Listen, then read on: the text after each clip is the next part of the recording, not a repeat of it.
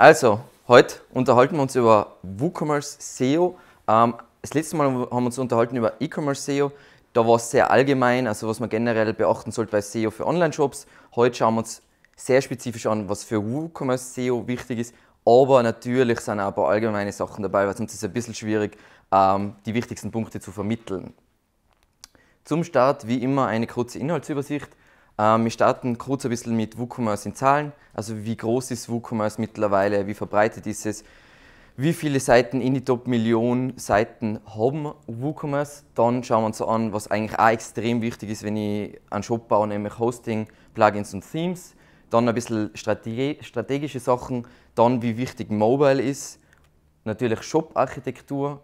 Dann schauen wir uns Content an. Wie gesagt, Content ist jetzt eigentlich prinzipiell nicht sehr WooCommerce bezogen, aber trotzdem natürlich Teil eines guten Online-Shops. Dann schauen wir uns On-Page-Optimierung an, technische SEO und OnSERP SEO. OnSERP SEO, für alle, die es nicht wissen, das heißt, wie schauen deine Ergebnisse in die Suchergebnisse aus? Nämlich, es gibt Scheißergebnisse und es gibt schöne Ergebnisse mit Rich Snippets. Passt. Wie immer gilt, ich sage, ich erzähle voll viel, ähm, aber SEO ist ein Bereich, der sich extrem schnell entwickelt. Es ändert sich ständig alles. Bestes Beispiel, es gibt jetzt ein neues Markup, FAQ Markup, was gerade voll viel durchwirbelt. Das heißt, stellt alles in Frage, was ich sage und probiert Sachen selber aus, testet Sachen. Aber das ist jetzt einfach Best Practice derzeit. Passt.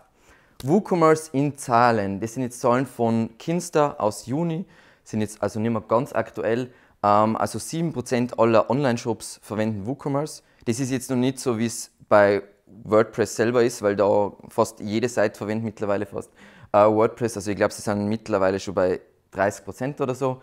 Ähm, aber was interessant ist, von eben der Top-Million Shops nach Traffic haben 22% WooCommerce. Das ist jetzt natürlich einer von den Gründen, ist es, weil WooCommerce einfach super einfach ist, aber auch, weil WooCommerce sich auf jeden Fall für kleinere Shops anbietet. Ähm, bei, wenn man jetzt wirklich einen riesigen Shop hat, ist es meistens sinnvoller, was anderes zu verwenden, weil Warenwirtschaft-Anbindungen meiner Meinung nach bei WooCommerce nicht so gut sind. Es hat nichts mit SEO zu tun, hat einfach mit Warenwirtschaft zu tun. Passt. Aber eben andere große Shopsysteme wie zum Beispiel Magento haben auch ihre Probleme. Wie, wie gesagt, wir haben jetzt wir haben mehrere Kunden, die jetzt ähm, oder wir haben einen Kunden, der was gerade auf Magento 2 umgestiegen ist und da sind wir drauf gekommen, hey, Magento 2 ist performancemäßig eine komplette Katastrophe. Ich weiß nicht, wie das passieren kann in dieser Unternehmensgröße, aber es ist leider so, was wir derzeit empfehlen, wenn man jetzt nicht einen kleinen Shop hat, sondern einen größeren Shop, ist definitiv Shopware. Die haben sich extrem entwickelt in den letzten Jahren und sind jetzt richtig, richtig cool unterwegs. Passt. Über was reden wir heute nicht? Das haben wir eh fast in, in jeder, jedem Vortrag drin. Ähm, eben E-Commerce SEO im Allgemeinen. Da gibt es einfach das Video. Zur Erinnerung, wenn da jetzt in Rot irgendwas steht, dann gibt man das ein bei YouTube, dann gibt es das passende Video. Wenn etwas in grün steht, gibt man es ein bei Google, dann gibt es den passenden Ratgeber dazu. Ähm, das heißt, das werden wir ein bisschen außen vor lassen, weil da habe ich schon voll viel Details erzählt und ich will jetzt auch nicht euch langweilen mit Sachen, die was ich schon erzählt habe. Dann über grundlegende On-Page-Optimierung, das heißt, ich werde nicht sagen so, hey, es sollte das Keyword im Title Tag haben, weil das ist super basic und da gibt es eher Video zu. Dann Link-Building für Online-Shops, hat nichts mit WooCommerce zu tun, das heißt, lass mal da aus und Content Marketing, weil Content Marketing hat auch nichts mit äh, WooCommerce zu tun, ist aber trotzdem wichtig, damit ich meinen WooCommerce Shop ranken kann. Passt. Natürlich, wenn ich so einen Vortrag mache, wie jetzt zum Beispiel heute, dann mache ich auch meine Recherchen, ich weiß nicht alles auswendig. Ähm, und ich habe mir extrem viel angeschaut, natürlich vor allem amerikanischen Content. Und der ist grottenschlecht. Sie reden darüber, oh mein Gott, du brauchst einzigartige Produktbeschreibungen, hat auch extrem viel mit WooCommerce zu tun. Not. Du brauchst Title Tags und Meta Descriptions. Das heißt, sie reden nur über die Basics. Wir werden halt auch die Basics behandeln, aber wir werden definitiv weiter in die Tiefe tauchen, wie zum Beispiel, wieso sollte ich auf Produktseiten nicht das Products bzw. den Toll in Slack entfernen. Werden wir alles behandeln. Passt. Dann starten wir mal mit Hosting für WooCommerce. Wenn ich jetzt eine WordPress-Seite habe, dann habe ich auch ein massives Problem. Nämlich, dass WordPress aus Sicherheitsperspektive vielleicht nicht das beste CMS ist, was jemals gemacht worden ist. Das heißt, es ist extrem wichtig, dass ihr einen Server habt, der was konfiguriert ist für WordPress. Nicht nur natürlich für Sicherheit, sondern auch für Performance. Und das ist nicht etwas, wo man so sagen sollte, hey, das Hosting kostet jetzt nur 2 Euro, deswegen sollte ich es unbedingt nehmen, weil es die 2 Euro garantiert die werden sich extrem rächen. Weil wenn es gehackt wird und äh, alle eigentlichen Kunden Spam geschickt wird und es von der DSGVO vernichtet wird, dann wird es an mich denken und denken, hey, hätte ich in was Gescheites investiert. Und das Beste da, habe ich eh schon oft gesagt, ist derzeit WP Engine. Da ist halt so, bei, für eine einzige Seite zahlst du, glaube ich, 29 Dollar, ist das kleinste Paket. Und da darfst du auch nur 5000 Besucher im Monat haben, dann musst du das Paket upgraden. Dafür extrem guter Caching-Layer, alles perfekt für WordPress. Ähm, Speed ist einfach ein Traum und es ist einfach super, super, super stabil. Ist mittlerweile auch bei weitem der größte. Es gibt auch Kinster und was kleineres eben Raidboxes, die was jetzt auch nicht schlecht sind. Aber wenn man jetzt einen Shop baut und jetzt nicht komplett äh, pleite ist, definitiv WP Engine. Ähm, wenn es googelt nach, hey, was ist ein gutes Hosting für WordPress oder WooCommerce, das Lustige ist immer, dass alle Affiliates sagen Bluehost. Der Grund dafür ist, dass Bluehost die höchste Provision zahlt an Vermittlungen. Dementsprechend, sie lügen wie gedruckt. Das heißt, investiert unbedingt in ein schnelles, stabiles, sicheres Managed Hosting, wenn es einen Shop baut. Es zahlt sich wirklich aus, weil es eh viele Studien dazu von Amazon und Google. Wie wichtig es ist, dass ein Shop schnell ladet. Nicht, weil er besser rankt unbedingt, sondern einfach, weil Leute sehr frustriert werden, wenn es länger dauert, wenn es mühsam ist. Passt. Schauen wir uns kurz ein paar Themes an. Ich will jetzt nicht, dass, es, äh, dass das jetzt ist so, oh, der Alex hat die fünf Themes gesagt und das sind die besten Themes und alle anderen sind scheiße für WooCommerce. Nein, das sage ich nicht. Aber es sind Beispiele für Themes, die durchaus äh, eine gute Performance aufweisen und gut mit WooCommerce funktio funktionieren. Ähm, Könnt sich dann eh genauer anschauen. Was wichtig ist, habe ich auch schon öfter gesagt, auch wo wir über WordPress SEO allgemein geredet haben, sucht euch ein Theme prinzipiell nicht an, aus nachdem, oh, die Demo schaut schön aus, sondern sucht euch ein Theme aus, nachdem, äh, wie ist es performancemäßig und weil es, es könnt ihr sowieso konfigurieren, wie ihr es haben wollt. Das heißt, passt da einfach ein bisschen auf, weil wenn das schlecht programmiert ist, es kannst du es nicht fixen, dass die Performance dann gut ist. Das heißt, das muss man vorher testen und deswegen gibt es auch Demos, weil dann kannst du einfach mit einem Tool wie Webpage-Test oder sowas testen, ist das Theme prinzipiell einmal gut konfiguriert und dann kaufst du das. Nicht, ich kaufe es, ich baue alles zusammen, ich tue all meine Produktbeschreibungen ein und dann kommt eine Agentur dazu und sagt, hey, die, da wird keiner kaufen, das ist ja sau langsam. Genau. Passt. Plugins. Das Wichtigste bei Plugins ist immer Regel Nummer eins: so wenig wie möglich Plugins.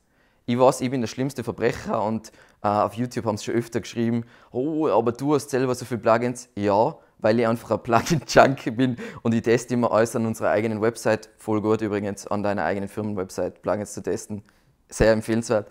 Ähm, aber grundsätzlich sollte die Regel sein, du willst wenig Plugins installieren. Und wenn wir jetzt über WooCommerce und WooCommerce SEO reden, dann ist ein Plugin, was im deutschsprachigen Raum meiner Meinung nach noch nicht so viele auf dem Radar haben, aber was wahnsinnig cool ist, ist RankMath. Ähm, es, es praktisch ist im Vergleich zu Yoast SEO, Yoast SEO kostenlos und dann zahlst du für jedes Upgrade, was die WooCommerce SEO und spezielle Markups und da und da und da zahlst du extra. Bei RankMath hast du alle wichtigen strukturierten Daten sofort implementiert. Das heißt Product Markup, ähm, Organization Markup, Local Business Markup und so weiter, den ganzen Schnickschnack, was man braucht, oder Breadcrumbs und so weiter. Das ist dort alles dabei. Ähm, du hast einen Redirection Manager, müsstest bei Yoast auch dafür zahlen. Du hast eine Crawling-Übersicht, also an, so eine Ansicht, wie du zum Beispiel in der Google Search Console hast. Und du hast die Möglichkeit, Bilder SEO zu automatisieren. Empfehle ich jetzt grundsätzlich, Bilder SEO zu automatisieren? Nein.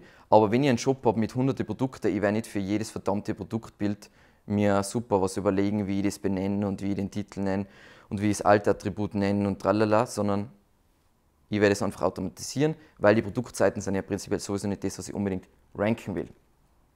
Und ich habe halt so coole Extras wie ein Video-Sitemap, ähm, darüber reden wir später noch, aber natürlich Videos werden auch für E-Commerce immer wichtiger. Äh, die Tendenz, was man in Amerika sieht, ist, viele Shops einfach für ihre Produktseiten haben sie bei den Top-Produkten Videos zu den Produkten, weil natürlich nichts verkauft so wie ein Video. Wie gesagt, ein Text ist nett, Bewertungen sind nett, da, da, da, aber was wirklich Emotionen vermittelt, ist immer noch der Fernseheffekt. Passt. Dann Yoast SEO kennt ihr alle. Da gibt es die Yoast WooCommerce SEO Erweiterung, die ist äh, kostenpflichtig. ähm, im 49 Euro. Ist ein bisschen, wie gesagt, prinzipiell habe ich nichts gegen Yoast SEO, aber letzten Endes hat das Ding ungefähr aus meiner Sicht drei Features, nämlich Rich Snippets, Breadcrumbs und dass es, Seite, dass es dafür sorgt, dass in deiner Sitemap keine Bullshit-Seiten sind, die was WooCommerce generiert. Finde ich ein bisschen grenzwertig. Es ist natürlich ein guter Buy-in, weil wenn ich Yoast SEO installiert habe, dann denke ich mir, ich konnte jetzt von Yoast SEO wechseln oder ich konnte mir jetzt einfach einmalig das kaufen und dann das nächste Mal, ah, das braucht jetzt auch, das sollte man auch noch dazu kaufen. Das heißt, das ist, wie sie auch ihr Geld verdienen. Wie gesagt, Yoast SEO grundsätzlich super, aber das ist ein bisschen hart. Genau. Das allerwichtigste Plugin für mich, nehme jetzt ein, ein SEO-Plugin für WooCommerce, ist auf jeden Fall WP Rocket, ist kostenpflichtig, ähm, ist bei weitem, bei weitem, bei weitem, egal was jemand jetzt sagt, äh, das beste Performance-Plugin aus meiner Sicht. Es gibt tonnenweise Performance-Plugins. Das Problem bei den meisten ist, entweder sind sie unglaublich schwierig zu konfigurieren oder sie haben zu wenig Features und das ist einfach ein guter Mix aus denen, plus was ähm, die Programmierer so, die, oder die Firma hinter WP Rocket auch noch hat, ist Imagify, ist mein, meiner, meiner Meinung nach derzeit das beste Bildkomprimierungsplugin, was auch gleich dazu holen kannst. Ich glaube, du kannst die sogar irgendwie in einen Bundle dir holen.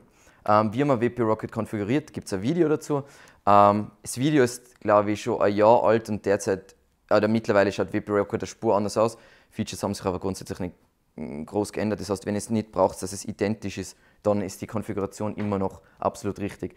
Und was nochmal wichtig ist, einfach weil ich es eh schon gesagt habe, ähm, Performance ist extrem wichtig für einen Shop, aber es ist nicht extrem wichtig für Rankings. Also was wir zum Beispiel sehen, du kannst einen Shop haben, der was, sagen wir mal, beim Erstaufruf drei Sekunden braucht, sagen wir nach, nach äh, Webpage-Test, und du kannst einen Shop haben, der was sechs Sekunden braucht, das macht keinen Ranking-Unterschied. Ein Ranking-Unterschied macht es, wenn du extrem langsam bist, sagen wir mal. Der Seite braucht 35 Sekunden zum Laden, aber das ist, glaube ich, eher an den Nutzersignalen zu verdanken, als wie das Google jetzt wirklich auf, auf Speed achtet. Passt. Dann kommen wir zum Thema Strategie. Ähm, das ist jetzt einfach grundsätzlich, weil jetzt haben wir ein paar so, sagen wir mal, super Tactical Sachen über WooCommerce äh, geredet. Was ja auch wichtig ist, wenn ich einen Shop baue, egal in was für ein CMS ich das jetzt baue, ist sich die Frage zu stellen, weil das stellen sich die meisten nicht vorher, sondern leider nachher, was, was will ich überhaupt ranken, beziehungsweise welche Seiten ranken für was. Ähm, und die Grundregel ist da immer, wie gesagt, das heißt nicht, dass es immer so ist, aber in 99% der Fälle und wahrscheinlich in eurem Fall auch, ähm, auf der Startseite ist mein Fokus, dass ich für die eigene Brand rank, beziehungsweise für Keywords wie, wenn ich ein E-Zigaretten-Shop bin, will ich für das Keyword E-Zigaretten-Shop ranken. Oder wenn ich ähm, CBD-Produkte verkaufe, will ich für das Keyword CBD-Shop ranken. Das heißt, das ist, wofür ich die Startseite optimiere. Das heißt, die Startseite wird wahrscheinlich ein bisschen was über die Brand haben, aber wird auch schon Produkte drauf haben, weil Leute gerne auf das einsteigen. Das heißt, die werden Top-Produkte zeigen und solche Sachen. Auf Kategorieseiten wird, werde ich optimieren für Produktkategorie Keywords. Das heißt, wenn ich ein Möbel-Online-Shop bin, dann ist eine Kategorie beispielsweise oder eine Subkategorie zum Beispiel Massivholzbetten und darunter kommt noch die Kategorie Zirbenbetten. Das sind die Art von Keywords, die was ich dort rank. Und jetzt meiner Meinung nach, meiner persönlichen Meinung und was ich von unseren Kunden auch weiß, Produktseiten sind auf einem Shop aus Sicht der SEO die unwichtigste Seite. Weil was ich rank, ist hauptsächlich sind die Kategorieseiten, danach kommt die Startseite und dann falls Sie Produkte haben, die was extrem gefragt sind. Das heißt, die Leute suchen wie auf Amazon nach was sie ähm, Samsung Galaxy äh, 9S und so weiter. Wenn ich solche Keywords habe, dann sind Produktseiten teilweise wichtig, aber meistens, vor allem wenn ich jetzt eigene Produkte vertreibe, also nicht von Brands oder irgend so etwas, dann sind mir die Produktseiten aus der Sicht wurscht, aber natürlich sind mir die Produktseiten nicht wurscht aus Verkaufssicht. Weil was, was bei den meisten Shops ähm, ein bisschen falsch gemacht wird, zum Beispiel auch beim, vom Content her, Kategorieseiten sind Seiten, wo ein User, wenn wir jetzt nach AIDA gehen, was die Attention, Interest, uh, Desire, Action, ähm, sind Seiten, da sind sie erst in einer Interesse- bzw. in so einer Recherchephase. Das heißt, die steigen auf der Seite ein und sie wollen eine Auswahl sehen, weil sie ja erst in einem Rechercheprozess sind. Aber wenn ich auf einer Produktseite bin, dann bin ich ja schon vielleicht in einem Desire-Prozess. Das heißt, oh, und äh, dann stellst du schon vor, oh, wie wäre es, wenn ich das Produkt in der Hand hätte und so weiter. Und dann will ich sie zum nächsten Schritt führen. Aber man darf nicht verwechseln, was ist SEO-relevant und was ist Sales-relevant. Passt. Und Ratgeber ähm, ranken natürlich für Informational Keywords. Das heißt, wenn Leute suchen, was ist oder wie pflege ich oder whatever, dann verwende ich Ratgeber. Und wieso will ich die auch haben? Weil ich oft, ich will ja etwas bauen, was wie ein Sales Funnel ist. Also wenn wir wieder AIDA haben, Informational Keywords haben immer am meisten Suchvolumen. Also zum Beispiel das Keyword SEO, was ein ganz klassisches Informational Keyword hat, hat mehr Suchvolumen wie alle Keywords in meiner Nische. Ist SEO das Keyword, was am höchsten, die höchste Conversion hat? Nein, natürlich nicht, weil es ist nur voll allgemein. Es kann jemand sein, der sich einfach über SEO informieren will. Es kann jemand sein, der was den Begriff irgendwo gehört hat und der will einfach eine Definition lesen und so weiter und so weiter. Aber wenn ich jetzt wirklich einen kompletten Funnel aufbauen will, dann ist das ganz oben dann steigen die Leute auf einer von der Kategorienseite und dann kommen sie zur Produktseite und da verkaufe ich dann. Passt. Was ist jetzt aus meiner Sicht derzeit wichtig für Shops? Eben das ist ein kurzer Recap von, vom, vom letzten Mal. Bei einem Shop, die Be Shops, die was am besten ranken, sind die Shops, die was die geilste User Experience haben. Deswegen große Firmen, ich werde jetzt nachher eh wieder das Beispiel von Home Depot dann später sagen, Shops, die was das extrem cool machen für den User, sind auch super leicht zu ranken. Ja, du kannst aus SEO-Sicht viel falsch machen und die User Experience hebt es auf. Natürlich kannst du auch Fehler machen, die was es nicht aufheben, aber das ist immer mein Hauptfokus, dass es gut ist für den Kunden. Das heißt, was ich so oft bei Shops sehe, oben wir haben unseren Shop für SEO optimiert, das ist, wir haben so viel Content bei der Kategorieseite und da unten kommen dann die Produkte. Ist das im Interesse vom Nutzer? Nein, weil wenn ich auf der Produktkategorie-Seite einsteige, dann will ich vielleicht einen Teaser sehen, hey, das ist das, was wir jetzt da sagen, und dann will ich die Produkte sehen. Ich will nicht, dass der Content dafür steige ich von Ratgeber ein. Und wenn es anders wäre oder wenn es anders ist, dann sieht man es zum Beispiel bei Shops wie zum Beispiel real.de, die haben unten unter die Produkte dann den Longform-Content. Dann, was wir auch sehen bei Shops, ist, was jetzt langsam wichtiger ist, Expertise, Authority, Trustworthiness. Das ist eben dieses Google Eat, was derzeit einfach in aller Munde ist. Letzten Endes, Eat ist genau eins derzeit, weil Google einfach noch zu schlecht ist für alles andere Links. Du brauchst gute Links, damit du gut ranken kannst. Hat sich nichts verändert. Ich finde Eat immer so lustig, oh mein Gott, es hat sich voll viel verändert. Sie sind eine Spur strenger geworden mit Links. That's the change, genau. Dann, was im Vergleich zu einer kleinen Website, wenn ich jetzt eine Firmenwebsite habe, wirklich eine komplette Veränderung ist, ist URL-Management. Ist bei einer kleinen Website komplett egal, ist bei einem Online-Shop und jetzt bei WooCommerce, ich zeige euch dann eh, wie das, wie das läuft, unglaublich wichtig. Also, dass ich manage, dass ich nicht alle möglichen Müll-URLs im Index habe. Mit Müll-URLs meine ich irgendwelche Filter, irgendwelche Tag-Seiten, all das Zeug, was prinzipiell, das entsteht einfach, weil du keine Ahnung hast von WordPress, aber das soll es eigentlich nicht sein, weil das Problem ist, dass Google super heikel ist mit Crawling. Das heißt, Crawling ist, sie durchsuchen der Seite und indexieren Seiten. Sie wollen so wenig wie möglich Scheiß indexieren. Desto einfacher du das für sie machst, desto mehr lieben sie deine Seite. Also wir haben jetzt gerade einen riesigen Relaunch mit nicht einem WooCommerce-Shop, aber mit einem Shop gehabt. Und das Problem war bei dem Shop, der haben wir CMS gehabt, da habe ich einfach nicht gut das managen können mit URLs. Das heißt, sagen wir mal 50% von all ihren URLs waren Müll. Dann haben wir einen Relaunch gemacht, wir haben eigentlich nichts verändert, außer wir haben ein anderes äh, System, Shop-System gehabt. Und plötzlich ist die Crawl Rate draufgegangen und gleichzeitig perfekte Rankings haben auch damit korreliert. Und da seht ihr, das ist bei einem kleinen bei einer kleinen Firmenwebsite ist das komplett egal. Da kannst du, die, kannst du Mülltags anlegen, das ist jetzt nicht gut für deine Sichtbarkeit, aber es ist auch nicht schlecht. Dann, was man auch noch immer sieht, vor allem bei kleineren Shops, viel zu wenig Aufmerksamkeit auf, auf Mobile. Wie gesagt, bei fast alle unsere Kunden ist mittlerweile Mobile der Haupttraffic, den sie kriegen. Das heißt, wenn es da nicht schaut bei der Entwicklung und das dann nachher flicken müsst, Katastrophe. Da zeige ich dann ein paar Tricks, wie man das was man für Browser zum Beispiel verwenden kann bei der Entwicklung, damit das eben nicht passiert. Dann Snippet-Automatisierung, das heißt, dass jede Seite einen schönen, einen schönen Title Tag und eine schöne Meta-Description hat und Ladezeiten. Ladezeiten eben wieder aus Sicht von Conversion. Passt. Kommen wir zum Mobile. Grundlagen einmal. Wenn ihr den Mobile-Friendly-Test Test von Google macht, macht's, heißt es nicht, die Seite ist mobile-friendly sondern es heißt nur, ich habe den grundlegenden Test von einer äh, bestanden, aber das heißt nicht, dass die User Experience gut ist. Es ist, Google sagt, hey, der Seite ist nicht katastrophal und du passt jetzt die grundlegenden Sachen. Aber es geht ja darum, wie der User das findet. Nicht unbedingt. Wenn es denen passt, ist es nett, aber es geht eigentlich darum, dass es echt cool ist für den Nutzer. Das heißt, was man ganz oft sieht, ist, mit seinen Chats ja gerade Hot Shit, jeder hat einen Chat und la Wenn du auf Mobile bist und das Chat-Ding ist voll mühsam, das lässt ihn wegklicken oder überdeckt Sachen, das ist super nervig und das killt auch alles. Das killt auch komplett die Nutzersignale und so weiter. Und das sorgt dann für schlechte Rankings.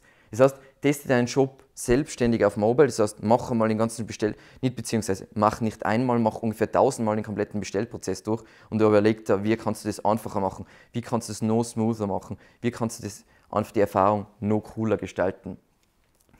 Dann fast alle Websites, was jetzt Mm, was wir haben, ja, alle unsere Kunden sind, äh, sind mittlerweile auf Mobile First Indexing. Für alle, die was, was mit dem nicht vertraut sind, es heißt einfach, Google schaut qua Rankings nur auf die mobile Version von eurer Website. Das heißt, als Beispiel, wenn ihr Accordions verwendet, ihr habt es auf Desktop alles ist sichtbar, aber ihr verwendet auf Mobile Accordions, dann kriegt es ein Problem, weil Google sagt, sie lieben Accordions, aber eigentlich hassen sie Accordions. Das heißt, was Google immer sagt und was sie in ihre Docs schreiben, die Docs sind grundsätzlich cool, aber alles, wo so, sagen wir mal, wofür man, wo man normalerweise testen müsste, haben sie keine Ahnung. Auch nicht der John Müller, auch nicht der Gary Iles, weil sie sagen, hey, wir können den Text indexieren. Ich habe noch nie gesehen eine Seite, wo sie das halbwegs gut indexieren können, dass Text in einem Akkordeon gut funktioniert. Egal wie du das technisch implementierst, es funktioniert nicht. Und ich weiß nicht, wieso sie das posaunen, dass es funktioniert, aber es ist nicht die Realität. Das heißt, wenn ich jetzt eine Website entwickelt, das heißt, ich seid noch in der Phase, wir machen jetzt die Website, dann ein cooler Tipp ist der Blisk Browser. Das ist ein Browser, wo du die ganze Zeit, da siehst du zum einen mal alle Common Devices, die was derzeit verwendet werden, was die iPhone 6 bis zum neuesten iPhone und du siehst immer die Desktop-Version und daneben die Mobile-Version. Das heißt, das ist voll praktisch zum Entwickeln. Ich weiß, es gibt voll viele Alternativen für das. Du wirst eh tausend Alternativen für das kennen, aber das ist das, was wir ganz cool finden. Ähm, und falls Leute daran denken, hey, AMP, im Accelerated Mobile Pages, ähm, das ist so eine abgespeckte Version von JavaScript und HTML.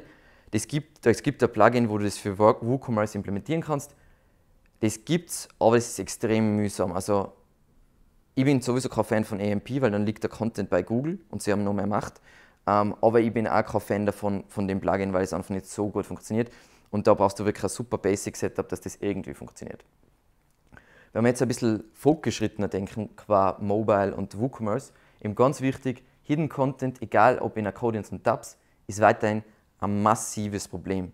Das heißt, ja, es ist praktisch, Produktbeschreibungen und tralala und Bewertungen packst du auf Produktseiten in Tabs rein, aber es funktioniert nicht. Es ist fast so, wir testen gerade, du kannst einfach Duplicate Content voll irgendwo einstuffen.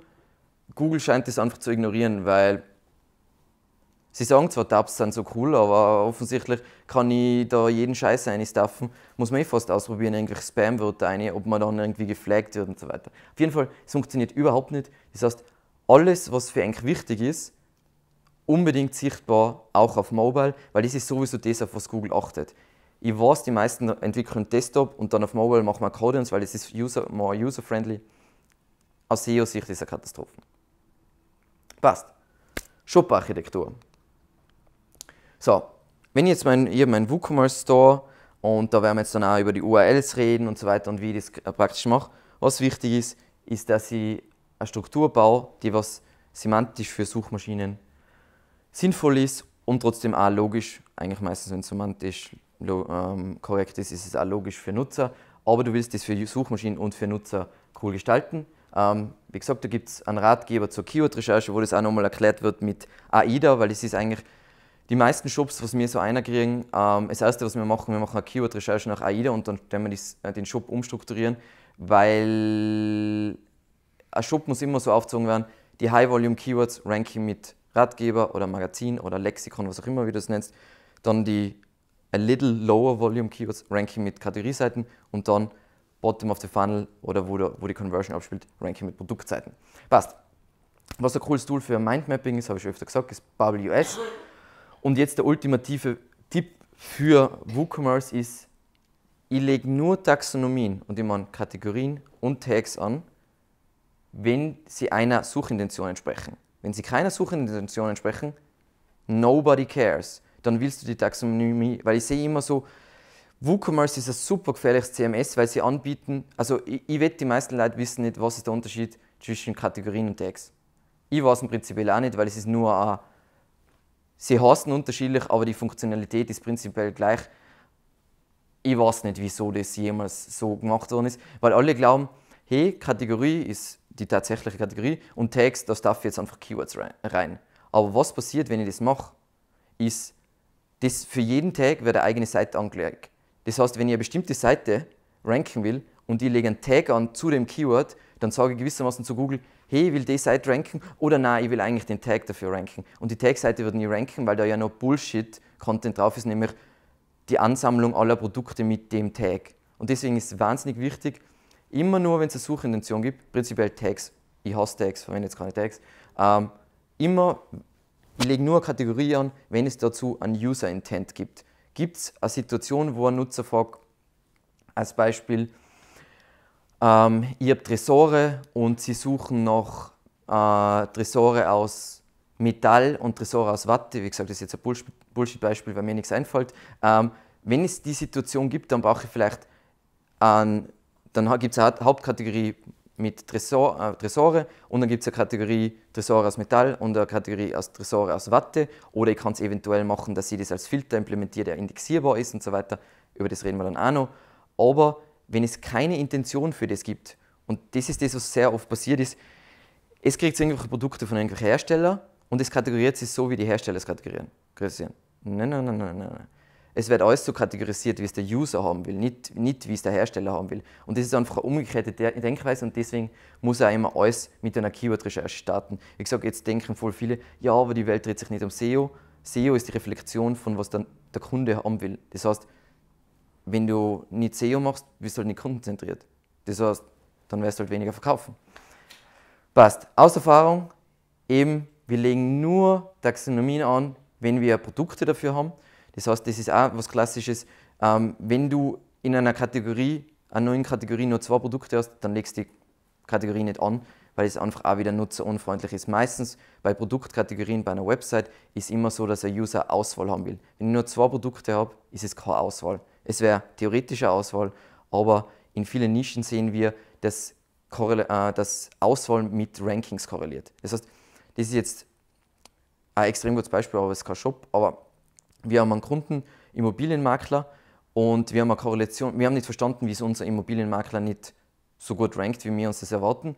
Und dann haben wir eine Korrelationsstudie gemacht zwischen äh, Immobilienangebot und Domain Authority.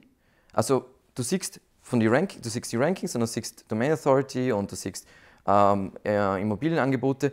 Und das ist, wenn die Domain Authority hoch ist, kannst du gut ranken. Ähm, aber du kannst auch gut ranken, wenn dein Immobilienangebot hoch ist. Und wenn Boards mittelmäßig ist, dann rankst du auch gut. Und je schlechter du mit dem, wenn du das zusammenzählst bist, desto schlechter rankst du. Das heißt, irgendwie weiß Google angebotsmäßig, hey, das ist von Interesse, beziehungsweise das entspricht nicht der Suchintention. Das heißt, das sind so Finessen, ähm, an die muss man denken. Das ist jetzt nicht ein Shop, aber prinzipiell ein Immobilienangebot ist das identische wie eine Auswahl an Produkten. Das ist jetzt ein Beispiel, wie das in Bubble US ausschaut. Da kann sich das so überlegen. So machen wir das auch immer für die Kunden. Ähm, was ist jetzt Best Practice, wenn ich jetzt einen WooCommerce-Shop baue? Ich will immer das Klassische, was schon vor 100 Jahren in SEO war, maximal drei Klicks von der Startseite idealerweise. Das heißt, idealerweise höre ich auf nach Kategorie, Subkategorie. Ich mache nicht eine Sub-Sub-Kategorie. Weil dann wird es meistens schon dann brauchst du mehr Autorität, damit du diese Sub-Sub-Kategorien auch ranken kannst. Und eben alles, was eng verwandt ist, sollte verlinkt werden. Das heißt, schaut sich Amazon an, wie Amazon es macht. Sie haben, du bist auf einer Produktseite und dann kriegst du Recommendations, Recommendations. So etwas willst du bei deinem WooCommerce Shop auch machen. Das kannst du natürlich idealerweise, und jetzt muss ich leider sagen, über Tags machen. Ähm, aber halt die Tags unbedingt in Grenzen. Genau. Und wir wollen eben jegliche Redundanz und Redundanz, wenn ich von Redundanz spreche, einfach Suchintention.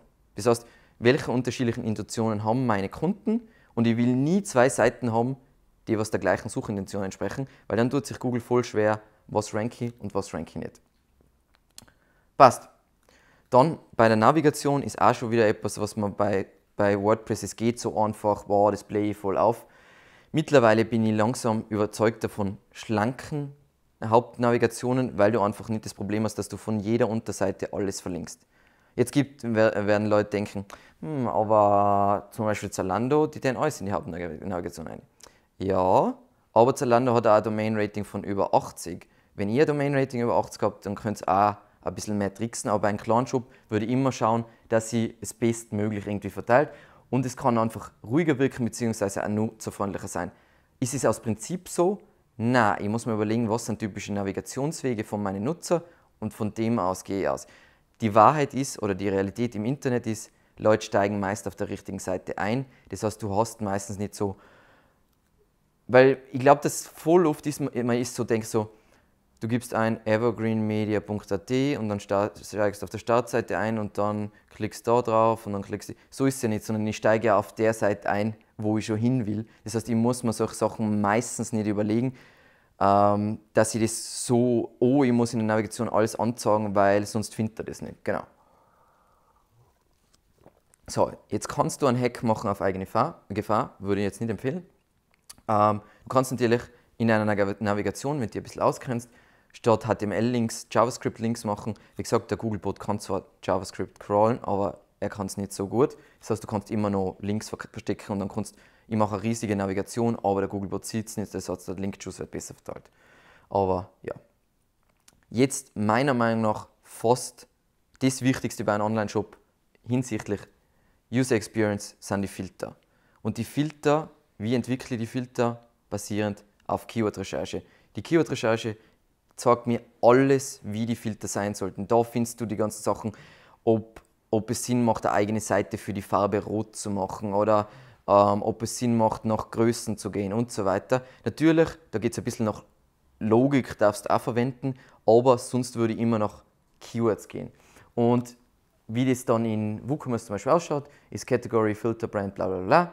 Ähm, das Problem ist, was ich nicht will, ist, dass diese Filter indexiert werden. Jetzt hat es ja gerade ähm, diese riesige Umstellung gegeben bei Google, dass die Google Search Console, jetzt gibt es nur noch die neue Google Search Console, aber nicht mehr die alte Google Search Console. Aber es gibt alle Features in der alten Google Search Console fast noch. Du kannst sie nur nicht mehr accessen. Du musst dann auch googeln. Das heißt zum Beispiel, wenn du die Parametersteuerung äh, suchst, dann musst du einfach googeln nach äh, Google Search Console, äh, Console URL Parameter Tool und dann kommst du wieder hin, dann kommst du wieder zu den alten Features von der Google Search Console, wo du Sachen konfigurieren kannst, weil sie haben komischerweise das Tool gelauncht, ohne dass sie alle Features rübergezogen haben. Und das ist wichtig, damit du zum Beispiel ausfiltern kannst. Das ist die Lösung Nummer zwei. Es praktisch ist aber, wenn ihr einfach sowas wie Yoast SEO habt oder RankMath, was die Tools machen, die machen äh, einfach, dass die Filter einfach auf die Kategorie mit einem Canonical verweisen. Damit killt das Ganze auch. Ist eh die sauberste Lösung, die beste.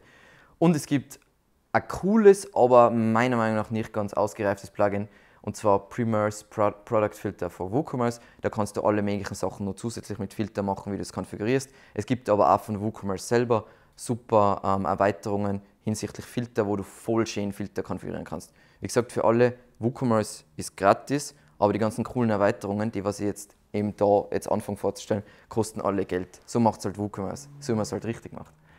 Upsell, so wie bei Computerspielen.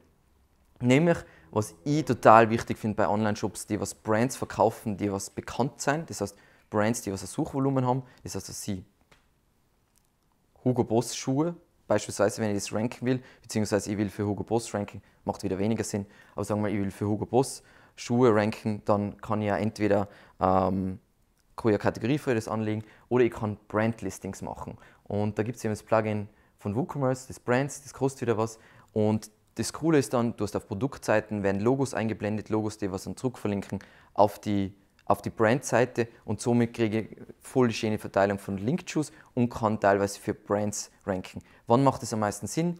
Wenn ich in einer Nische bin, wo jetzt die Brands noch nicht super viel Autorität haben, die Brand wird immer auf Nummer 1 ranken, aber wenn ich in die Top 3 für eine Brand ranken kann, bei unseren Affiliate-Projekten passiert das andauernd, dann ist das, hat das voll viel Traffic-Potenzial. Es ist richtig, richtig cool. Und es gibt eben so eine Markenübersicht, die was ich jetzt nicht so toll finde. Da siehst du all deine Brands in einen Shop und da ist es intern verlinkt. Das sorgt halt vielleicht dafür, dass die Struktur flatter ist und dass der Linkschuss gut verteilt wird. Aber prinzipiell das Coole ist einfach, dass du das automatisierst, dass du schöne Brandpages hast und auf deine Produktseiten Logos, die was auf die Brandseite verlinken. Genau. Da ist das Tool, seht ihr eh wieder, wie schlau sie es machen. Ein Mini-Upsell, aber natürlich, wenn du 10 Mini-Upsells brauchst, dann äh, haben sie auch was verdient bei Automatic. Übrigens, Automatic hat gerade Tumblr gekauft. Kann es noch gar nicht glauben. Passt. Was mache ich mit Produkten, die was nicht in der Lage sind in WooCommerce?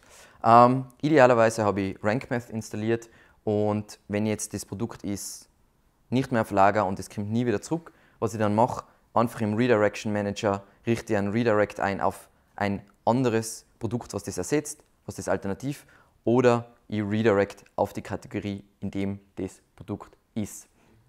Wenn das Produkt jetzt kurzfristig nicht auf Lager ist, dann gibt es in WooCommerce, jeder, der was WooCommerce äh, verwendet, sollte es wissen, gibt es den Punkt Restrictions, da kann ich, sehen, äh, kann ich anzeigen, äh, kann ich, anzeigen, so ein Bullshit, äh, kann ich sagen, wo das angezeigt wird, das Produkt.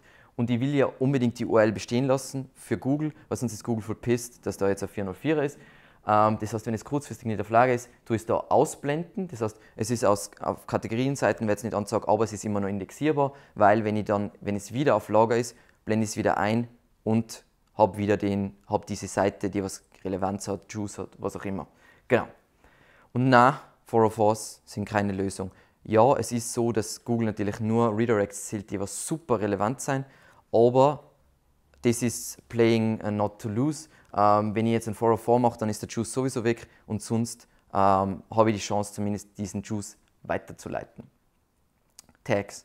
Nein, nein, nein, lass das sein. Wir wollen keine Tags, außer du verwendest ein Plugin, wo du jetzt ähm, relevante Produkte vorschlagst, was ich hoffe, dass du Cross-Selling machst und all so Sachen. Dann könntest du Tags verwenden, aber super beschränkt. Und wie man sich Tags überlegt, ist vorher. Du lässt niemals, fangst du das Spiel an, ah, was konnte ich da jetzt für Tags eingeben? Da, da, da, du überlegst dir all deine Tags und nimmst dann immer nur aus deinem Tagpool, weil sonst wäre es immer eine komplette Katastrophe. Also das ist immer das, was bei Kunden, wir sagen sie ihnen jedes Mal, weil bei einem Blog kannst du auch Tags haben, sagen wir, das sind die 20 Tags durch zu verwenden und dann keine Tags mehr.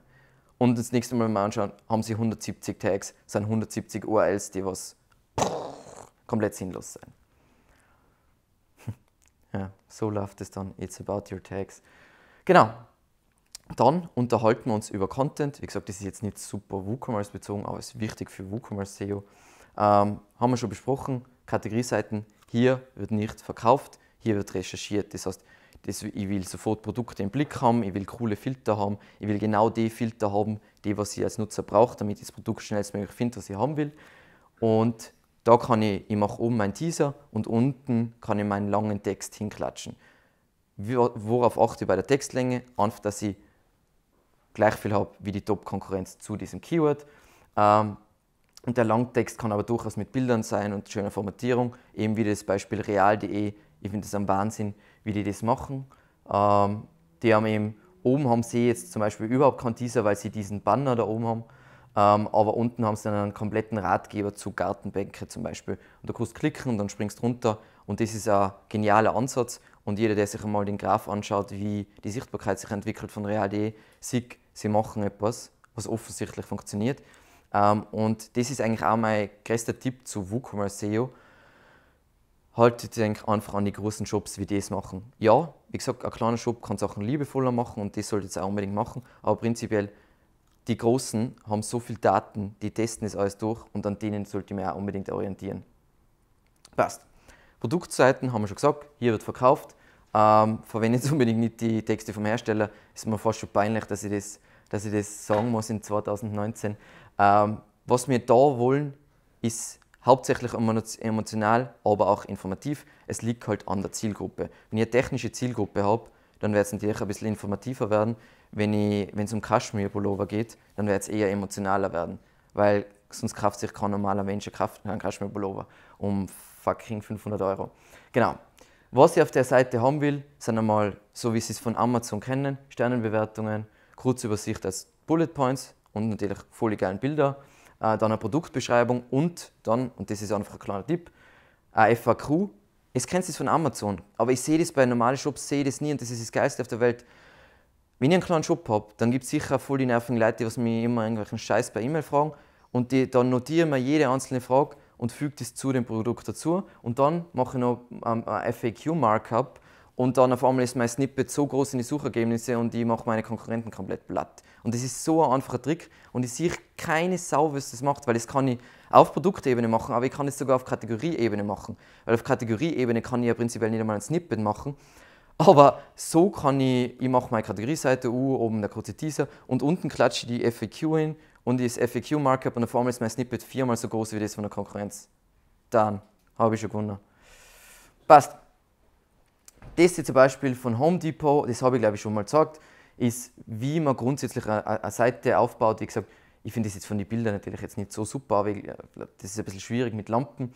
Aber du hast oben deine Sternenbewertung, wo sie draufklicken können und dann kommen sie nach unten zu den Bewertungen. Ich habe meine Bullet Points, ich habe den Preis, sie haben unterschiedliche Bilder, sie können leicht auswählen, was sie haben wollen. Ähm, genau die wichtigsten Sachen mit Gutscheine und Zahlungsmöglichkeiten und lalala. Unten habe ich dann wirklich mein Fließtextprodukt äh, Overview und dann unten habe ich nochmal eine ewig lange FAQ, wo ich ein Markup mache und dann meinen coolen Rich Snippet kriege. Genau, das schaut dann so aus, die FAQ. Ähm, ich kenne das eh von Amazon, das heißt, das ist jetzt nicht super spannend, aber das ist so einfach zu machen und es macht niemand. Passt. Das Thema Bewertungen ist wieder jetzt nicht WooCommerce äh, bezogen, aber einfach so unglaublich wichtig. Bewertungen bei Trusted Shops, extrem wichtig, oder Trustpilot oder was auch immer ihr verwendet. Aber du willst immer versuchen, Bewertungen auf deinen Shop zu kriegen. Das heißt, Bewertungen, die was die Leute auf deinen Shop ziehen. Wieso will ich das haben? Weil es sagt Google, hey, Leute kaufen da tatsächlich ein und kaufen Sachen und du hast immer mehr Content auf einer Produktseite. Das heißt, die Produktseite gewinnt immer mehr an Relevanz. Die Produktseite wird jetzt vielleicht nur für die Produkt-Keywords ranken, aber sie pusht natürlich auch die restlichen Seiten von meiner Website, wenn sie besser, schöner, mehr Usability hat. Das heißt, ähm, und du hast natürlich ähm, das Ranking-Potenzial für Produktname plus Bewertungen, was, wenn man sich Keyword-Recherchen anschaut, einfach etwas ist, was immer wächst. Das heißt, Leute suchen immer mehr nach Erfahrungen, Bewertungen, Reviews, Testimonials, whatever. Und da ist auch so viel Potenzial, weil die kleinen Shops machen es alle nicht. Die großen Shops machen es alle und nicht einmal die machen es wirklich. Also Amazon sind die einzigen, die es wirklich gut machen. Das Schwierigste dabei ist, oh, da ist ein Rechtschreibfehler. Ähm, die einzigen, die was richtig machen, gut machen, ist Amazon. Ähm, aber die haben es halt auch leicht, weil sie leicht Bewertungen akquirieren, weil ihr werdet sehen, das Schwierigste auf der Welt ist, Bewertungen für einen Shop zu, zu kriegen. Also das ist das Problem. Und wir wollen es natürlich nicht in einen Tab oder einen Accordion äh, verstecken, weil dann ist es tatsächlich versteckt. Passt. Und das ist auch, wie wir Sternenbewertungen kriegen. Kurz zu dem Rich Snippet, wo man Sternenbewertungen auf Produktebene kriegt, das kommt dann später nochmal. Damit das erlaubt ist und den Google-Richtlinien entspricht, müssten idealerweise die Sterne, also was wir am Anfang gesagt haben, die Sterne müssten auf der Seite sein und theoretisch müssten auch die Bewertungen auf der Seite sein, aber das ist, sagen wir mal, eine Gray Area. Das heißt, man muss nicht die Bewertungen selber unbedingt anzeigen. Passt. On-Page-Optimierung. So. Ähm, wenn ihr jetzt RankMath verwendet, dann wird das für Produktseiten sowieso von selber gemacht. Äh, sonst Bilder-SEO, wie gesagt, aus meiner Sicht gibt es kein Bilder-SEO, weil das ist ungefähr das einfachste auf der Welt. Ähm, aber wenn ich jetzt ein visuelles Thema habe, wenn ihr jetzt einen Shop habt, der was Handcremes verkauft, Bilder-SEO komplett egal. Wenn ihr einen Shop habt, der was Möbel verkauft, Bilder-SEO extrem wichtig, weil viele Leute über die Bildersuche zu einem Shop finden werden. Ähm, das heißt, was da wichtig ist, ist bei jedem Shop wichtig, aber hohe Auflösung, aber eben eine kleine Dateigröße, unbedingt dafür Imagify, das Plugin verwenden für Bildkomprimierung. Ähm, eben, es kann es natürlich auch manuell machen, weil vielleicht will sich jemand einfach extrem viel sinnlose Arbeit antun. Dann kann man JPEG Mini oder Tiny PNG äh, verwenden. Und was einzige Wichtige ist, ist Keyword im Dateinamen, Keyword im Alt-Attribut, Keyword im, äh, im Title-Attribut. Und da ist so, mit Alt-Attribut beschreibend meine was die Richtlinien prinzipiell wären für das Alt-Attribut ist, dass wenn ich das Alt-Attribut sehe, dann weiß ich, was auf dem Bild drauf ist. Das ist die Regel. kann man ruhig ein bisschen tricksen. Ähm, das Title-Attribut ist ein Tooltip, wo Leute drüber fahren können. Das heißt, da macht es mehr Sinn, einen Satz zu machen. Und wenn du ein CDN verwendest, was ich hoffe, was du verwendest, eben, wenn du WP Engine verwendest, verwendest du ein CDN. Ähm, das ist ein Content Delivery Network für alle, die was nicht wissen und das optimiert gewissermaßen, je nachdem, was die Location vom User ist, ähm, wird es von einem anderen Server ausgeliefert, damit es alles viel schneller geht, logischerweise. Wenn der Server näher an dir dran ist, dann geht es schneller. Und da musst du aber, oh mein Gott, das hat geflimmert. Ähm, da muss man aber aufpassen, dass ähm, bei einem CDN generiert es eigene URLs. Das heißt, das Bild hat nicht evergreenmedia.at slash bla bla bla, sondern es hat irgendwas wie 357 bla bla bla bla bla.wpengine.com als URL und du musst aufpassen, dass es nicht anfängt, Duplikate URLs, äh, Duplikate URLs für Bilder zu generieren, weil das heißt, du rankst schlecht in der Bildersuche. Was du da machen kannst, ich erkläre jetzt nicht, wie das geht, weil da braucht sowieso ein Dev, ist Canonical im Image Header setzen, weil dann kannst du sagen, das ist das Originalbild und das ist nur ein Duplikat vom Originalbild. Das ist genau das gleiche wie mit Text-Content. Genau. Dann Video SEO ist noch ganz neu bei E-Commerce, sieht man fast noch nicht. Ähm, da hilft denke ich wieder Rank Math, wenn es das Plugin verwendet, weil es macht denke ich, gleich ähm, Schema Markup für ein Video. Plus, was es auch macht, ist, äh, es macht ein Video Sitemap, was fördert, dass eure Videos zum einen, wenn die auf der Seite sind, besser indexiert werden und zum anderen, dass es ein Rich Snippet in die Suchergebnisse kriegst, was natürlich wieder mega geil ist, wenn du eigentlich Produktseiten Video Rich Snippets kriegst. Besser geht's nicht. Und wieso ist es so wichtig? Nichts steigert Time on Site via Video, nichts fördert Conversion so ein Video und nichts steigert den Trust so ein Video. Und wer das nicht angeht, der ist wirklich selber schuld. Ähm, gibt eh coole Statistiken dazu, dass bis 2020, was sie 80% der Zeit im Internet auf Video verbracht wird. Kann ich mir nicht ganz vorstellen, aber auch wenn es nicht so schnell geht, es ist extrem wichtig, Video anzugehen. Und im, in WooCommerce geht es am besten, wenn es RankMath verwendet.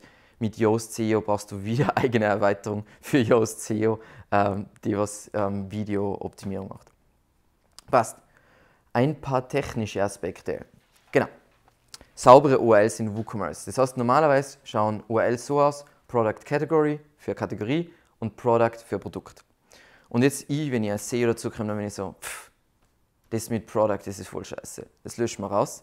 Das Problem dabei ist, also so habe ich immer gedacht, bis der Georg mir erzählt hat, dass das scheiße ist, nämlich ähm, du brauchst das, weil so wie WordPress Sachen abruft, wenn du das, diesen Teil Product oder P, du kannst es kürzen auf was du willst, weglöscht, dann tut sich WordPress viel schwerer damit, schnell Sachen zu finden. Das heißt, es ähm, wirkt sich negativ auf die Performance aus. Das heißt, bei Produkten will ich eigentlich das Product drin lassen. Das ist auch okay, weil Produkt-URLs sowieso immer flat sein. Das heißt, du hast ja nicht eine Hierarchie in einer Produkt-URL.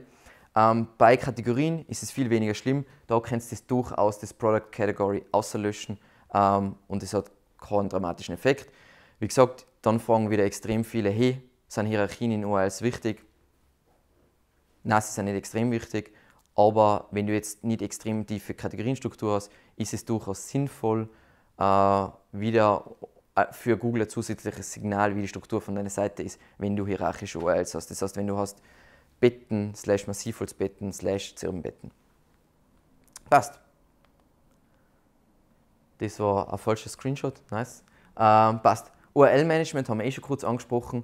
Ähm, erster Test, wenn ihr einen WooCommerce-Shop habt, oder beziehungsweise ich analysiere einen WooCommerce Shop. Das allererste, was ich tue, ist, ich, gebe, ich schaue mir an, wie viele Kategorien gibt es, wie viele Produkte gibt es, wie viele Utility Pages, also so Impressum, Schnickschnack gibt es und wie viele Ratgeber gibt es. Das zähle ich zusammen und das ist mein Richtwert, wie viele URLs im Google-Index sein sollten.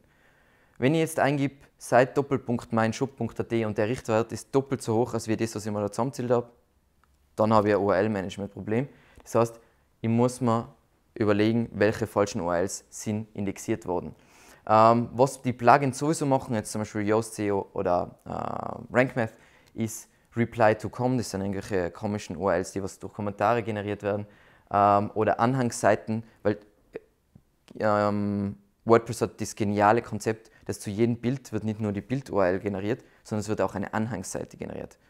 Wem dieser Wahnsinn eingefallen ist, Wissen wir nicht, ähm, aber auf jeden Fall, die Plugins lösen das Problem für euch.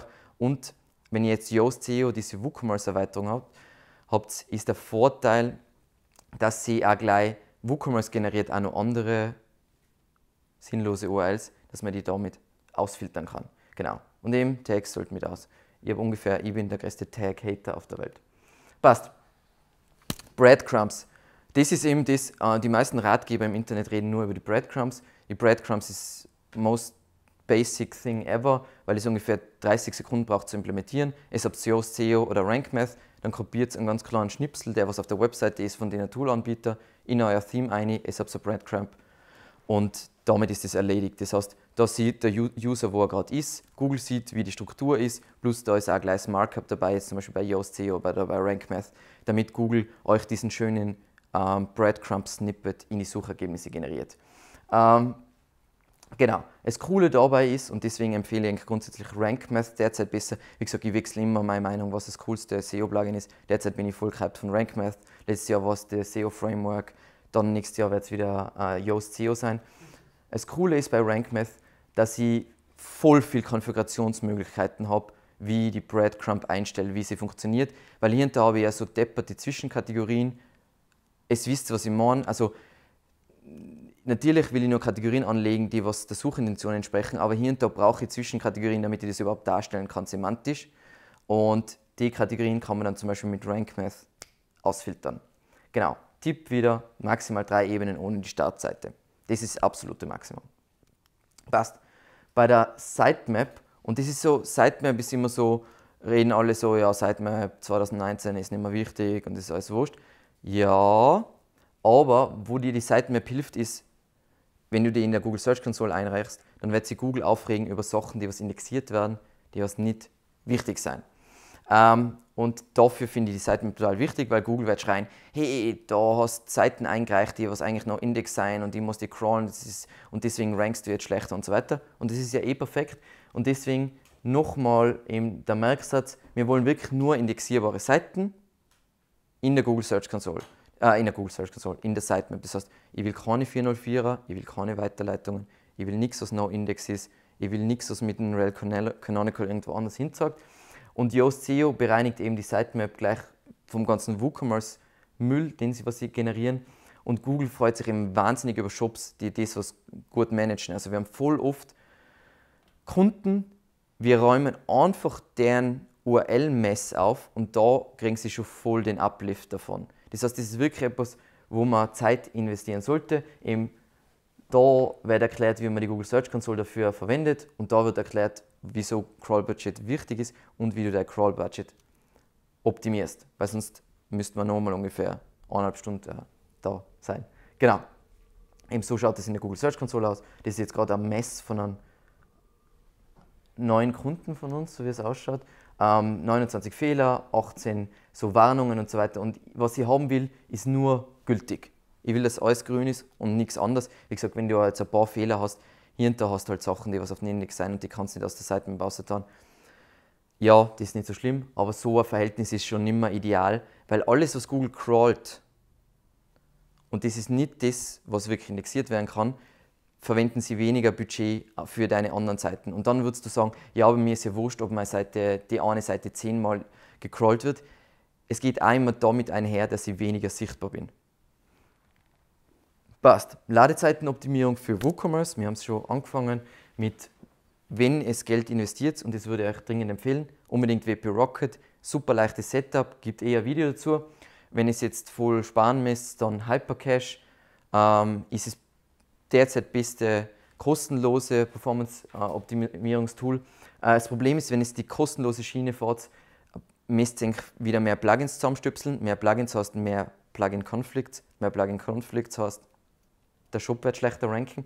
Und weil dann müsst JS und CSS-Minification äh, machen mit was sie D2-Geschichten, das eh, kennen eh die meisten, das ist aber auch mittlerweile der Wahnsinn. Und eben bei Bildkomprimierung ist das coolste Imagify, ist aber wieder kostenpflichtig, weil es gehört die gleichen wie WP Rocket. Oder es gibt ein Video dazu, wo ich so die Tools vergleiche, kostenlose und bezahlte. Und wie gesagt, es ist meistens so, für das, was du zahlst, kriegst du auch mehr Leistung. Also. Passt. No Index Follow haben wir ja ein großes Thema gehabt dieses Jahr. Ähm, bei Shops ist es voll oft praktisch, dass du bestimmte Seiten, beispielsweise Tags, auf No-Index stellst, aber auf Follow. Das heißt, sie werden nicht von Suchmaschinen indexiert, aber der Link-Juice fließt durch. Dann hat der Gary Iles gesagt, hey, äh, wenn du das machst, dann nach einer bestimmten Zeit machen wir ein No-Index, No-Follow draus, das heißt, der Link-Juice wird nicht mehr durchfließen. Jetzt ist es so, dass das immer noch nicht bewiesen ist. Google ist es selber nicht ganz sicher. Wir verwenden es noch und es funktioniert eigentlich einwandfrei bei den Seiten, wo wir es haben. Ähm, das Praktische da ist halt, wenn ihr Seiten habt, so Zwischenseiten, die was nicht funktionieren für eng und die was es nicht in Index haben wollt, zum Beispiel eben Tags, weil es die nur verwendet, um Produkte zu kategorisieren, damit es bessere Related Products anzeigt. Dann eben in Yoast SEO zum Beispiel, wir wollen es nicht erlauben, dass es dass indexiert werden kann, aber Suchmaschinen sollen den Links folgen, ist die beste Murks-Lösung aus meiner Sicht.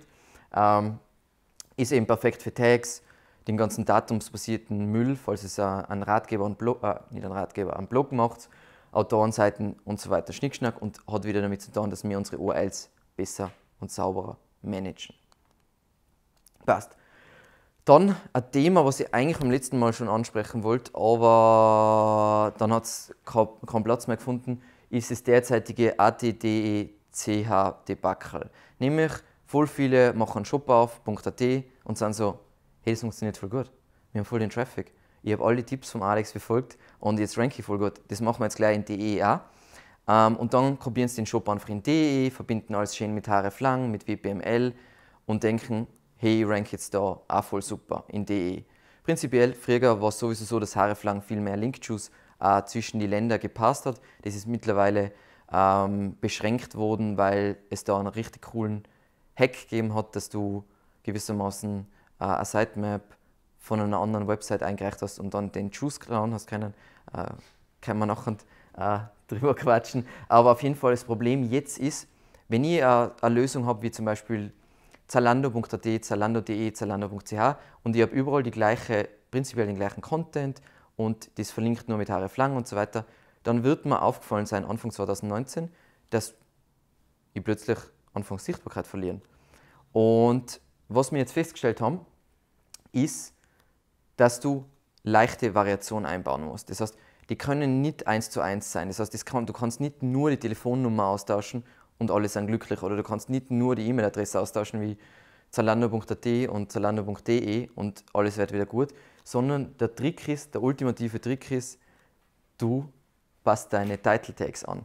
Das ist das, was wir herausgefunden haben, was eigentlich der größte Trigger ist. Wenn du hast, sagen wir mal, du hast deinen Title Tag und dann hast am Ende ja meistens Pipe und dann hast du dein Brand Name, dann machst du dann statt Evergreen Media, machst evergreenmedia.at und beim anderen evergreenmedia.de und das hat fast bei allen Shops, wo wir es jetzt ausprobiert haben, komplett dafür gesorgt, dass es komplett recovered ist. Wenn es dann nicht recovered ist, war der Trick, dass wir noch halt ein paar andere Template-Tags einbaut haben, nämlich zum Beispiel, dass dann da, wo das Wort Österreichisch durch Deutsch austauscht wird oder Österreich und Deutschland oder die Telefonnummer austauscht wird oder die E-Mail-Adresse, dann braucht es einfach leicht mehr Variation, um das zu schaffen. Aber grundsätzlich in, sagen wir mal, neun von zehn Fällen hat es ausgereicht, nur den Title Tag anzupassen und schon sind die Seiten recovered. Und ich glaube, dass wir da sogar ein Beispiel haben. Ja, genau. Ähm, da im Anfang 2019 ist jetzt auf einmal die AT-Version in einen Abwärtskanal geraten und die DE-Version auch in einen Abwärtskanal geraten. Und das einzige Problem bei den beiden Seiten war, sie waren fucking identisch, bis auf die Telefonnummer. Und sie waren aber perfekt verbunden mit hreflang. Und das Ding war ja immer mit hreflang, hey, dann habe ich ja kein Duplicate-Kontoproblem mehr. Alles gut. Und dann haben wir eben äh, das mit den Template-Tags und dann sieht man, wie schnell einfach das wieder zurück aufsteigt, dieser Switch. Und es ist so lustig, dass Google solche Sachen macht, weil aus meiner Sicht macht es, es macht schon Sinn, aber dann brauchst du richtig Variation und nicht, oh mein Gott, der Title Tag ist unterschiedlich äh, hinsichtlich, äh, hinsichtlich User. Das ist ganz witzig. Dann eben unser letzter Punkt ist OnServe SEO und das ist etwas, was einfach, wo viel zu wenig Aufmerksamkeit äh, wird dem geschenkt und da geht es einfach darum, wie schaut mein Suchergebnis in die Suchergebnisse aus.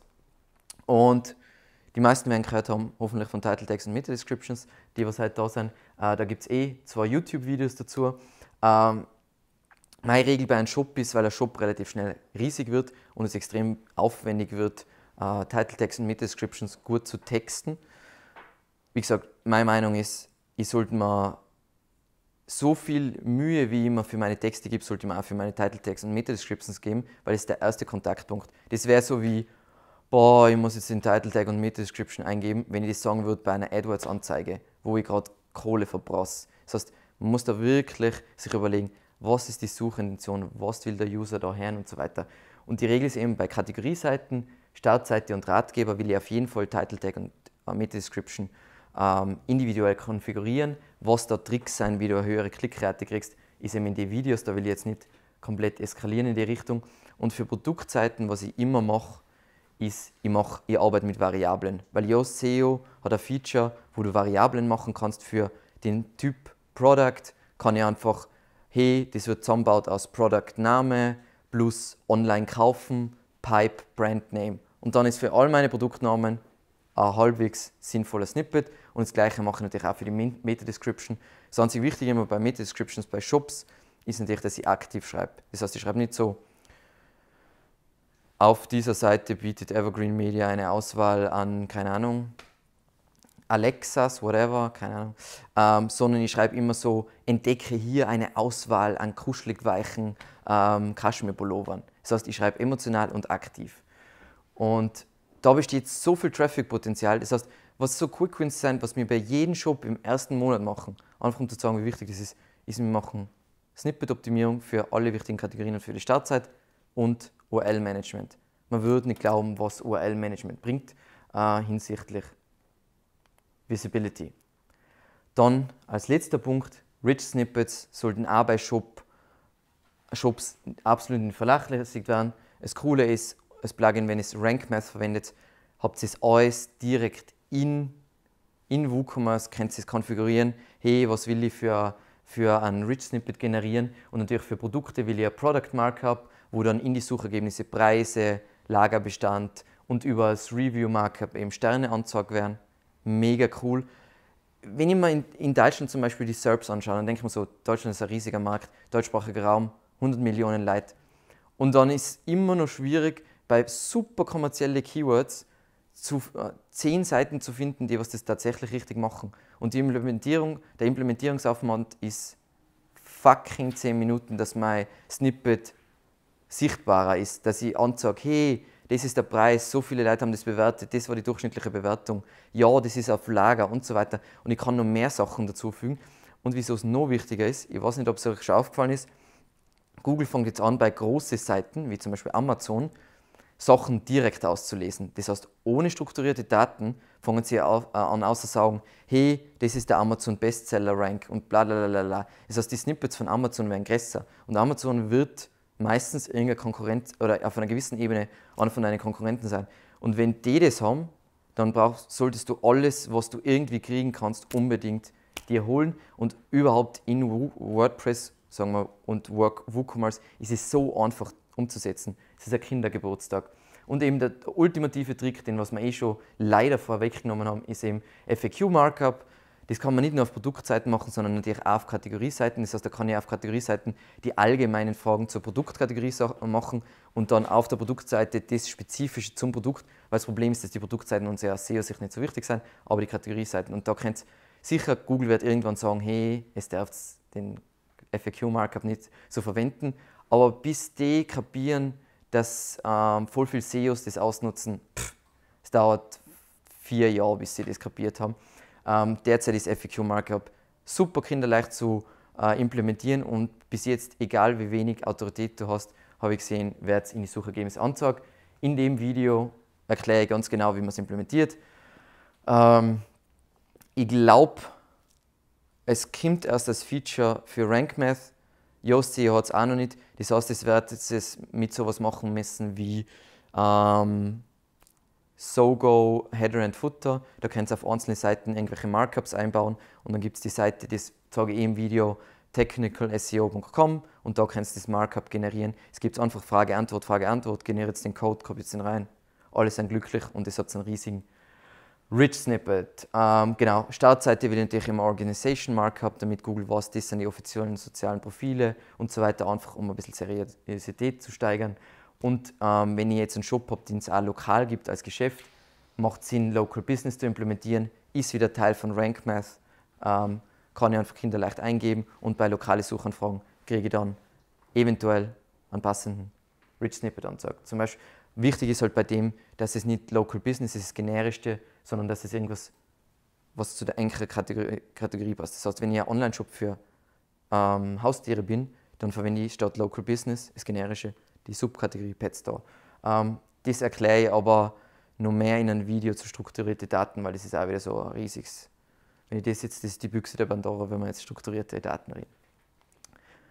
Genau, und dann kann das so ausschauen, ich habe diese Bewertung, ich habe da stehen, wie viele Leute es bewertet haben, ich habe den Preis da stehen, ich habe, ob es auf Lager ist, da stehen. Und natürlich alles, was den Snippet auffälliger, schöner macht, steigert meine Klickrate und bei gleichen Rankings führt es so zu einer höheren Klickrate. Und das ist so wichtig. Wie gesagt, das ist die Anzeige. Eine Website ist super wichtig, aber die Leute sind noch nicht auf eurer Website. Das heißt, wenn es da scheitert, dann kommt der User nie auf eure Seite. Und damit kommen wir zu den Key Takeaways. Wie gesagt, allerwichtigste, investiert in ein gutes Hosting, in ein gutes Theme und idealerweise ein die richtigen Plugins, die was ich jetzt da vorgestellt habe. Ähm, entwickle eben deine Webseite auch SEO-mäßig für Mobile. Das heißt nicht sagen, auf Mobile verwende ich nur Accordions und Tabs, weil das ist praktischer. Das werdet ihr bereuen. Dann eben so wenig wie möglich Plugins verwenden. Ich weiß, es ist voll schwierig, vor allem mit den ganzen WooCommerce-Erweiterungen wird es noch schwieriger. Aber ich sage immer, die Regel ist, das absolute Maximum ist 15 Plugins. Und jetzt werdet ihr schauen auf meiner Seite und das sind 30 oder so. Aber das, so sollte man es machen. Ich sage eigentlich nur, wenn man es richtig macht. Ähm, dann legt unbedingt Wert auf, auf Filter und eben kurze Ladezeiten. Filter gibt es von WooCommerce total schöne Plugins, um das zu implementieren. Ähm, und kurze Ladezeiten einfach WP Rocket investieren. Und dann, wie gesagt, die Zeit, was es braucht, um ein anderes kostenloses Plugin zu investieren. Also wenn eine Zeit nicht 49 Euro wert ist, dann muss man sich überlegen, ob ein Online-Shop generell der richtige Ansatz ist, weil dann wäre es besser, irgendwie in einer Kupfermine zu arbeiten. Ähm, dann technische SEO ist eben bei, einem kleinen, bei einer kleinen Firmen-Website nicht so wichtig, aber bei einem Online-Shop richtig wichtig, auch bei einem kleinen WooCommerce Online-Shop. Und zu guter Letzt, erstelle nur Taxonomien, die einen User-Intent haben und passt auf mit Tags, weil Tags machen es extrem schwierig äh, oder führen es extrem schnell dazu, dass ihr voll die Keyword-Kannibalisierung habt und damit rankt den Google äh, schlechter. Und damit sage ich vielen, vielen Dank und ciao.